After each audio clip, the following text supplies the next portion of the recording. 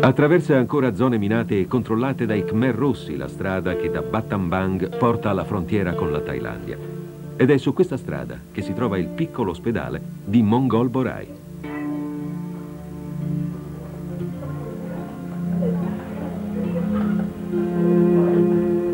La tragedia cambogiana si porta dietro un capitolo tuttora aperto quello delle mine disseminate sul territorio dalle varie fazioni in decenni di guerra che continuano a uccidere e a mutilare.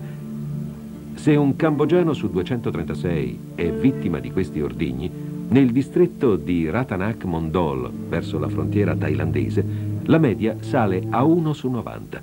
Un dramma che ha lasciato in Cambogia 35.000 invalidi e che ogni mese fa più di 200 nuove vittime.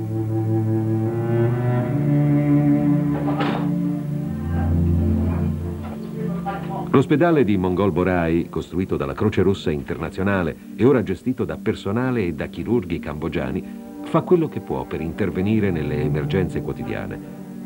Situato in una zona calda del paese, ospita anche giovani militari vittime di mine negli scontri con i Khmer Rossi, ancora molto attivi nella zona.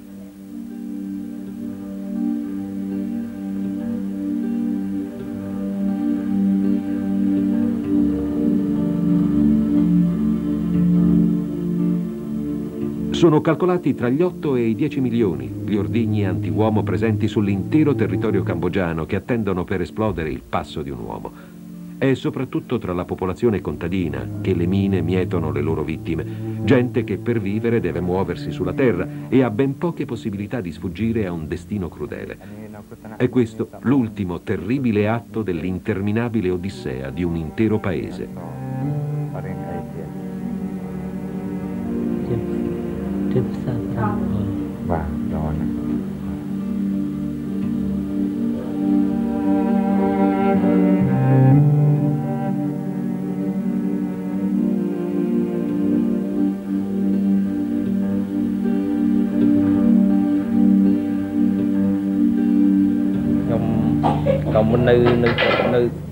Io sono un militare dell'esercito cambogiano. Eravamo in un'operazione militare contro i Khmer Rossi. Siamo finiti in un campo minato e sono saltato in aria. I miei compagni mi hanno portato qui. È successo una ventina di giorni fa. Sono fortunato perché ho perso solo una gamba. Ho 29 anni e per il futuro non so cosa pensare. Dovrò dipendere dalla mia famiglia, che è molto povera.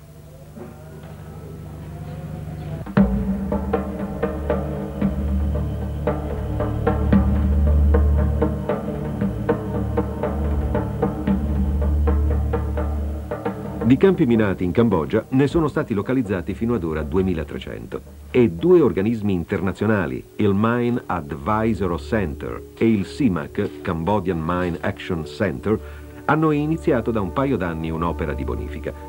Qualcuno ha calcolato che ci vorrebbero decine e decine di anni per ripulire l'intero territorio della Cambogia, perché in effetti la sola tecnica oggi possibile è ancora quella dello sminamento manuale. Oggi, in 30 paesi del mondo, teatri di recenti conflitti, secondo le stime degli esperti, 100 milioni di mine nascoste nel terreno attendono pazientemente le loro vittime.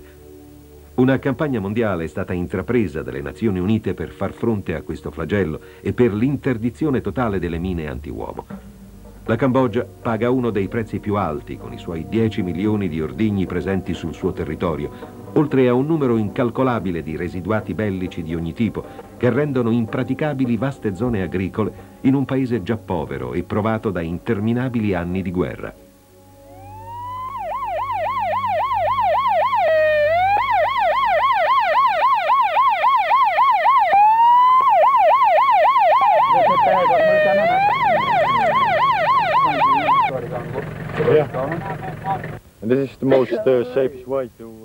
Sì, qui ci stiamo preparando a far esplodere degli ordigni bellici.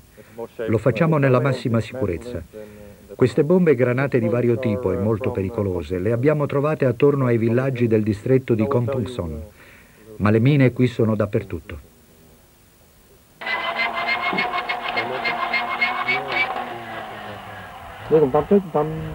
One, two, three.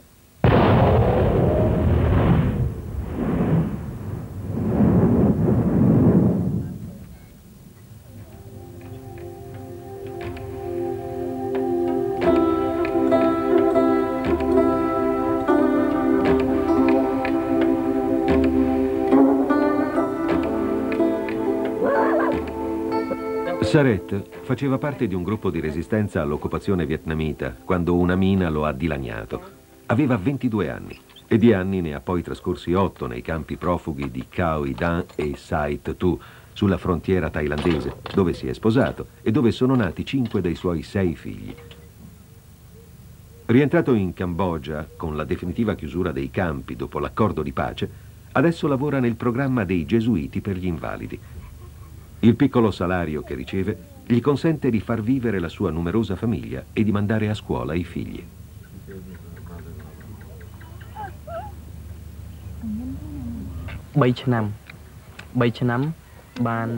Sì, ho passato otto anni nei campi profughi. Dopo l'incidente mi hanno portato a Sait Tu, Avrei voluto andarmene in un paese straniero, ma questo non è stato possibile. Per le due gambe che ho perduto mi hanno dato 50 dollari e tutto è finito lì. Anche mia moglie era nel campo. Ci siamo sposati e poi sono nati i figli. È là che ho cominciato a lavorare con i gesuiti che si occupavano dei rifugiati e ho ripreso a collaborare con loro appena rientrato in Cambogia.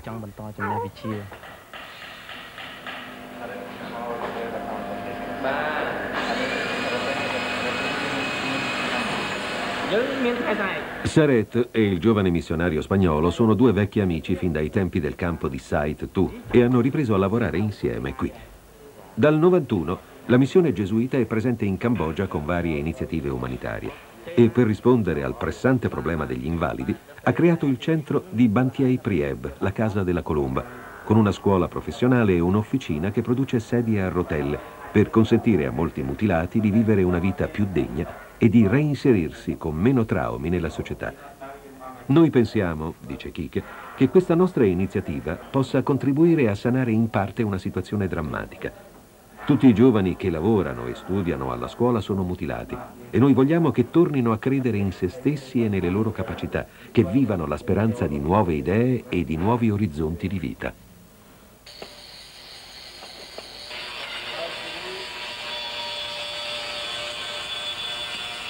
Saret ha iniziato una nuova vita qui a Bantiei Prieb e il suo unico desiderio adesso è quello di fare qualcosa di utile per tanti come lui.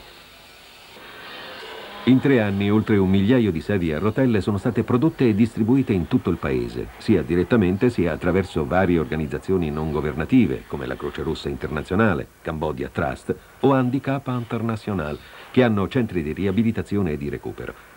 Di tecnologia molto semplice, realizzate con materiali facilmente reperibili sul posto, queste carrozzelle sono essenziali per restituire a molti giovani una vita più degna.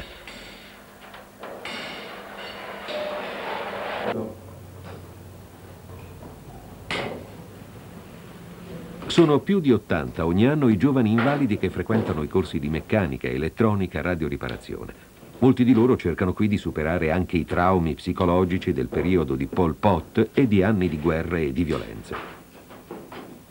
La missione dei gesuiti in Cambogia ha voluto fin dall'inizio occuparsi di cose concrete e intende anche aiutare questi studenti che vengono da tutte le regioni del paese a reinserirsi nei loro luoghi di origine, a ricostruire la loro vita e a trovare anche la forza di aiutare altri che sono nelle loro stesse condizioni.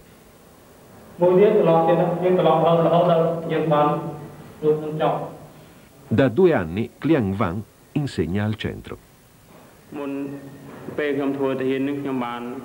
Quando ho terminato il mio corso sono rimasto per insegnare ad altri studenti e da quando sono qui la mia vita è cambiata, ha uno scopo. Anch'io sono mutilato e ho perso una gamba per lo scoppio di una mina. Adesso vivo con la mia famiglia non lontano da qui e devo dire che sempre mi sono stati vicini, mia madre e le mie sorelle. Da poco mi sono sposato e viviamo tutti insieme. Spero di avere dei bambini e vorrei che loro non vedessero mai quello che noi abbiamo visto, che la Cambogia possa finalmente vivere in pace. Ho imparato molto da persone come Kike, ho imparato che ci si può aiutare l'un l'altro, che si può essere tutti fratelli.